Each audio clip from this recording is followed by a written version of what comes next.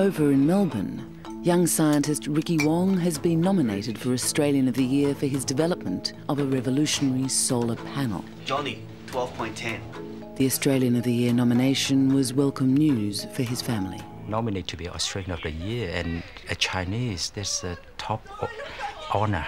Yeah, if he get his PhD next year, I'm so proud. And um, Australian of the Year award, yes, that will be I'm speechless, yes. Ricky's academic career has been carefully guided yes, by his father. Um, in our family, education is the most important thing because with good education, you will have a good future. Just from the track record, I think we are sure that he's going to get nominated and, uh, and yes.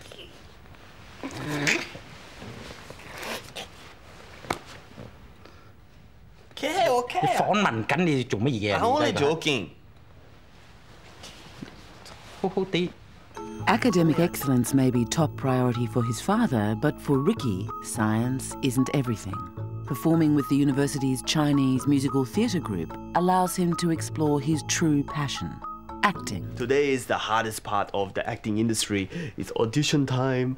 It's uh, I'm auditioning for um, the musical, the new Chai Sok musical, and um, I'm very nervous. I get very nervous about auditions, but I um I want the lead badly. What do you think? Jacket, gray jacket, or brown?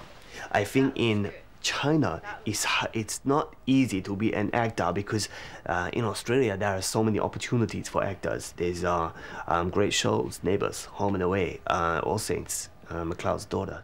Hey, I'm auditioning for the show. he must yeah. know what the priority is. And drama, I don't want him to mingle with a lot of uh, people in the drama group because um, I heard that they get into drugs and that sort of thing. So I always warn him. And but I, I think that Ricky understand that.